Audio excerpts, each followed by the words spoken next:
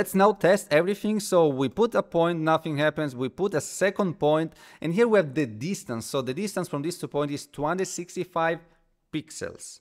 And it's important to know that it's pixels because then it's not a real distance yet. It's, of course, some distance that we have between the screen. So let's put them closer, one and two. Now you see 175. If we put them further, you see 584. So this is now working. So have the distance between two points. This is the first, distance between two points. What is the second step? At the second step, we need to calibrate, we need to find a ratio from pixel to centimeters. How do we do this? It's very simple. So we take a ruler or a meter. So I have now the meter. And then we need to associate the centimeters to the pixels. So what we do, we put the meter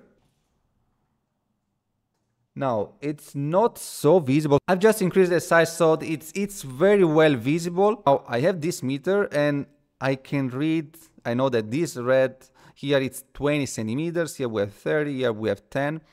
We need to calibrate that. We can do this uh, very simply. We can say we click on 0 and then we click for example on 10 and we know that 10 centimeters correspond to 137 pixels. So we find the ratio. Here we create a ratio value, which is the ratio pixels to cm ratio. We divide 10 with 137.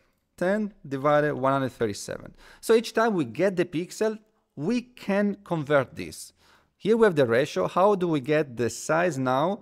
We go on where we are displaying the distance and now let's get distance to centimeter distance to cm. So each time we get the distance in pixels so this here cm let's say this distance pixels to to have just more clear from the code